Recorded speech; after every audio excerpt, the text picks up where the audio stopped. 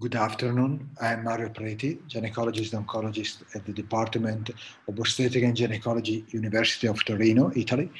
And I would like to thank the organizer for inviting me in this meeting, and in particular, Professor Jacob Bornstein for inviting me in this interesting session. We're going to talk about lichen sclerosus resistant to therapy.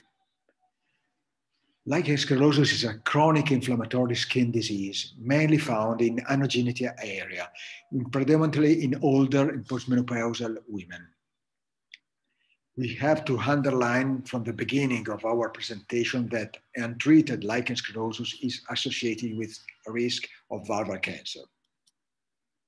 The main symptoms are itching, and burning, in particular according to the excoriation of fissuring, so dyspareunia, dysuria, and sexual dysfunction. However, sometimes lichen sclerosus could be asymptomatic, discovered by chance in occasion of routine gynecological examination. It is important to underline this finding.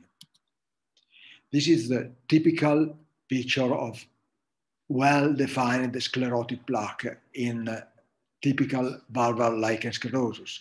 The variation are multiple papule or macule produ producing specular appearance or plaque limited to the labia minora or periclitoral area or clitoral hood or sometimes edema in a background of pallor, telangiectasia, purpurea, and hemorrhagic blistering the prevalence of the world population is unknown because of course is underdiagnosed and we have referral bias. We can say that almost 30 uh, women out of 100,000 women here older than 55 years suffer from vulvar lichen sclerosus. This is the histological picture with the epidermis often atrophic and uh, atrophic degeneration and homogeneous pale zone of hyalinization in the upper dermis. It's important to have a correct biopsy to have a correct diagnosis. diagnosis. And uh, in particular, when vulvar lichen sclerosus has been treated with topical corticosteroid, the biopsy can become not specific and very difficult to diagnose. The treatment goal, well, Cure is not a treatment goal. We have symptom relief, prevent further anatomical changes, reverse sign. A definitive cure for vulvar lichen sclerosus does not exist, as its exact pathogenesis remain, remain unknown. Due to its progressive course and potential evolution toward cancer, all vulvar lichen sclerosus cases should be treated, even if asymptomatic. And this is underlined by the uh, recent uh, British Association Dermatologist guideline, where quality of life, restoration of sexual function, and abolition of vulvar risk of cancer are the main aim of the therapy.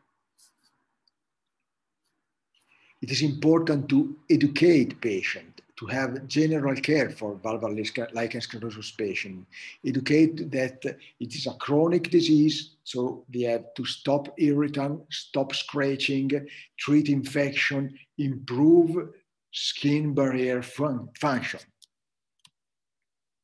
And let them know that treatment is not cure. They have to have very, very long time treatment. And which is the ideal treatment. We know that topical corticosteroids are the gold standard for treatment for many inflammatory skin disorders, owing to their anti-inflammatory effect and the inducement of specific genes encoding signaling proteins with immunosuppressive action. This propriety make topical corticosteroid particularly well suited for treating an immune-mediated inflammatory disorder like vulvar lichen sclerosus. They also exert anti, an antipruritic effect. And the current guidelines suggest 12 weeks of treatment, one a day, with either tapering or continuous regimen. this is considered the first line treatment where ointment formulation is more effective than cream when hyperkeratosis is present. These are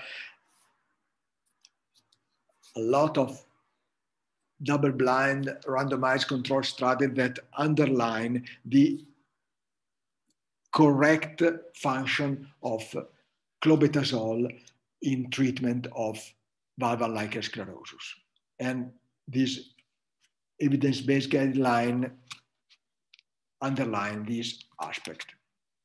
Of course, clobetasol has a favorable safety profile and tolerability, and uh, we can say that uh, ointment is the best treatment in uh, hyperkeratotic lesion, and a fingertip is the unit measurement.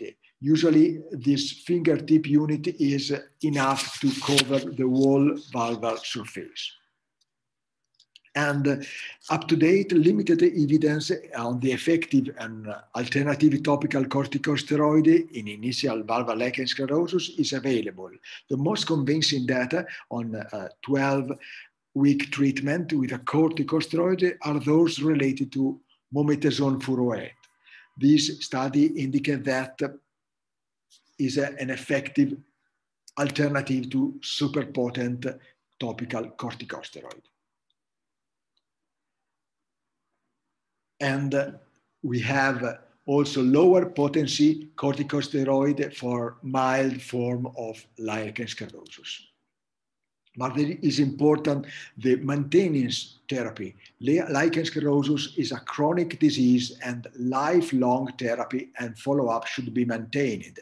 Maintenance therapy should be treated to the lowest dose needed to maintain symptom resolution and sign control as scarring, adhesion, and sexual activity.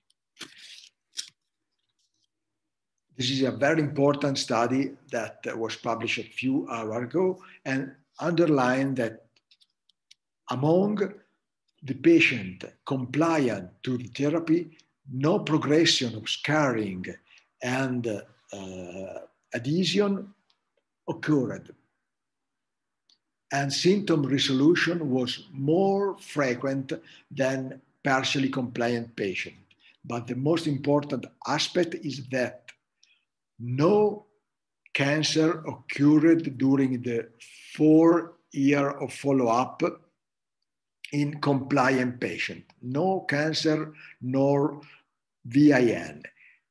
On the contrary, partially compliant patient seen 4.7% of neoplastic transformation in vulvar lichen, lichen sclerosus. It is important to underline that this is uh, one of the uh, first studies that give us this evidence. Treated patients reduce the risk of cancer. And so continuative long-term application of uh, therapy is a set of continuative maintenance therapy using the same molecule or reducing the potency of the agent of shifting to different pharmacologic classes. But it should be proactive even after remission after therapy, maintaining therapy with lower dose and no symptom recurrence, recurrence and reduce of risk of neoplastic degeneration. How long? We can't say up to now lifelong, but in the next year we probably have more detailed studies. And when there is treatment failure, persistent symptom and active disease for the scarring, fissure, and hyperkeratosis despite treatment. The first important er, are, are there compliance problem is patient compliant to therapy? Is correct the diagnosis? There are superimposed problems as infection. We have to consider other causes of symptom. We have to consider allergy to topical corticosteroid, but the most important is to confirm the diagnosis and consider malignancy. In particular, when differentiated VIN appear in a field of lichen sclerosus. These differentiated VIN have a very short intraepithelial phase, and so it's important to recognize, to diagnose, and treat them.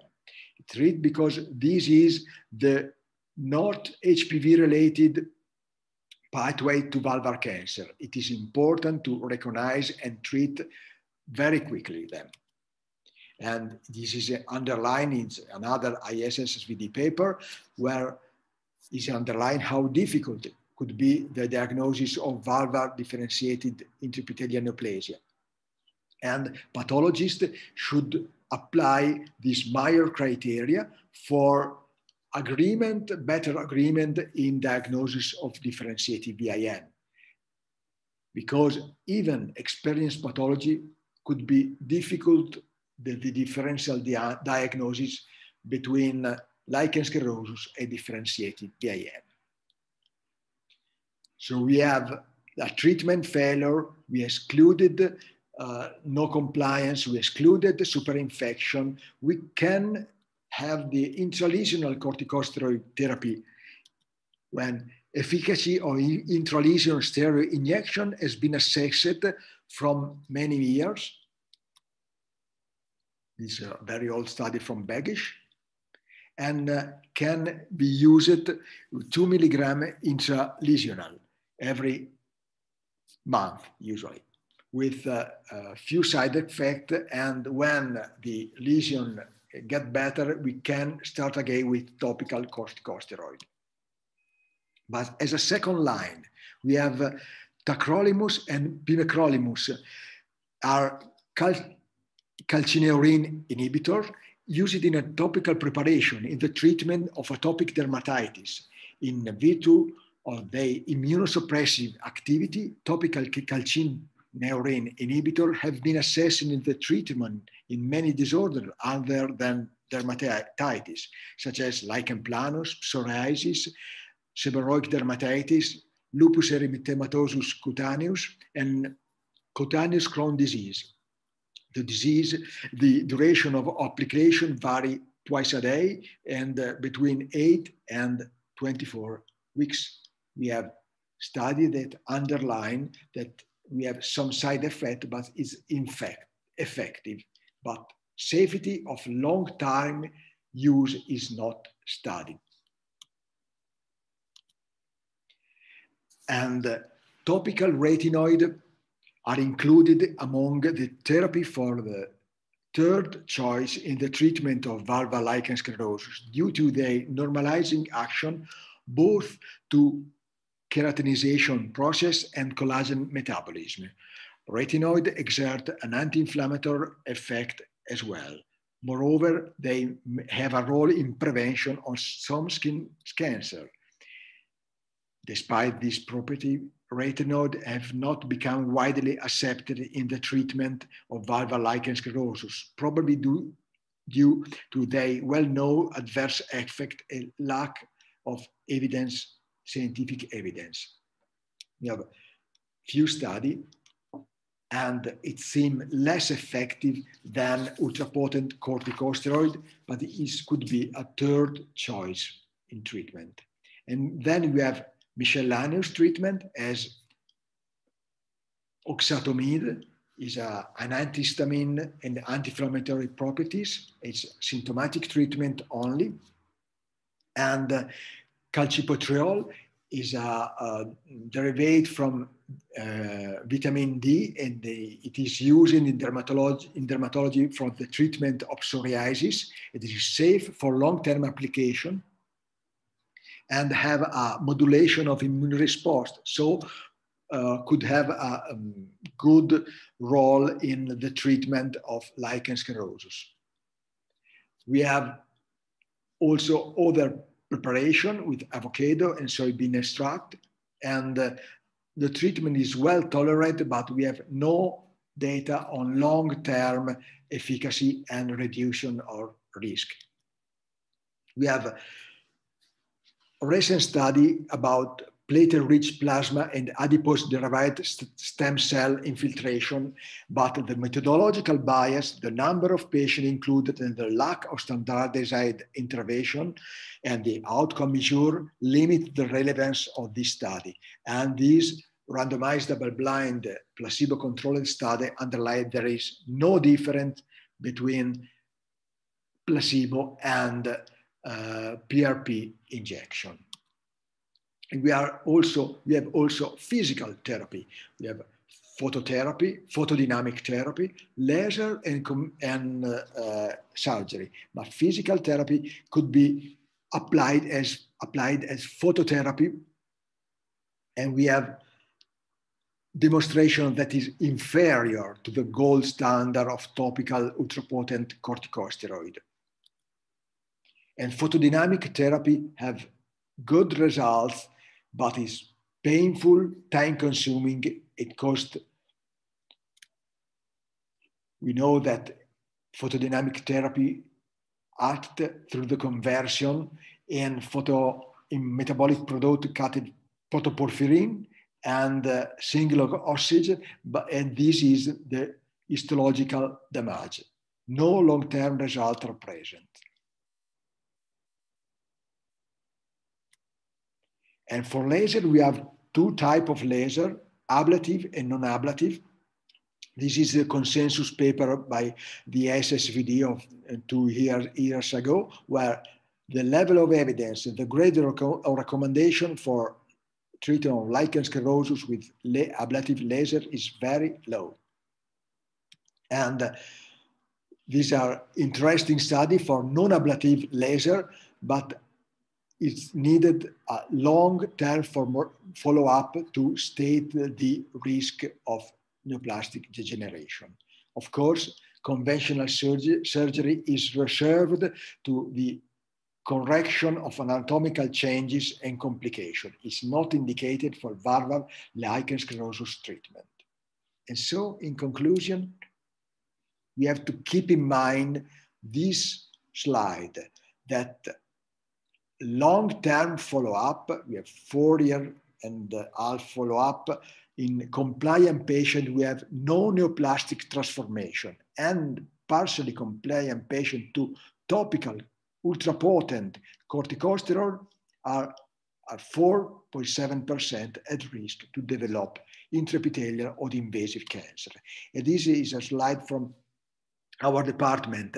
We followed more uh, about uh, 1,000 of patients with vulvar lichen sclerosus, We can see that the longer the follow-up, the higher the risk. So it is important to have study with long-term follow-up, as in if we cut the follow-up at two years, we have only 1.2% of progression to neoplasia that increased dramatically over 10 years of follow-up. So please have a long follow-up study to recommend new therapy for vulvar lichen sclerosus. Again, thanks for your kind attention.